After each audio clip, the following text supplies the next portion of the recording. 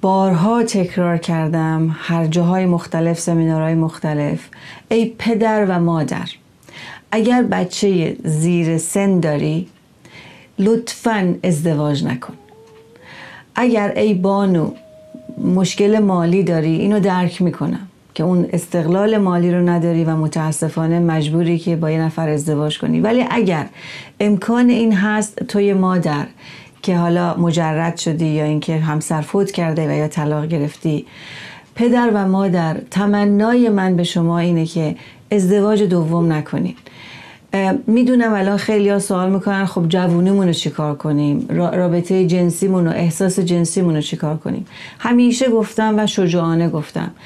خودرزایی بکنید ولی به خاطر مسائل جنسی ازدواج نکنید.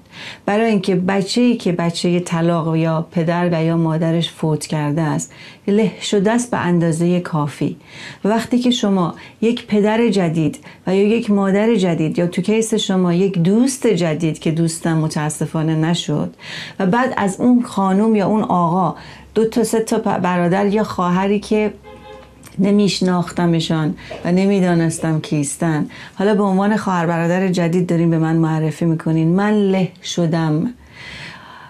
من قربانیم.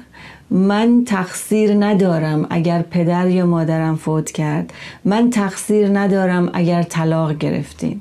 ولی من قربانی شما هستم. من به خواسته خودم به این دنیا نیومدم. شما منو به این دنیا آوردین. پس باید رعایت حال منو به عنوان پدر اصولی پدر با اخلاق و مادر با اخلاق و اصولی بکنین. این اصلا خودخواهی نیست.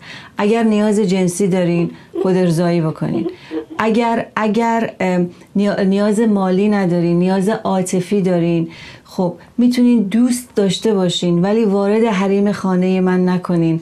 برای اینکه من هیچ مردی رو و هیچ زنی رو جای پدر و مادرم نمی‌تونم ببینم.